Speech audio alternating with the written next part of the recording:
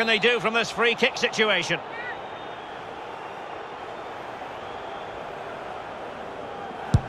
Hazard! And first-class defending, cleared off the line. Oh, that is a goal from long range. He won't soon forget.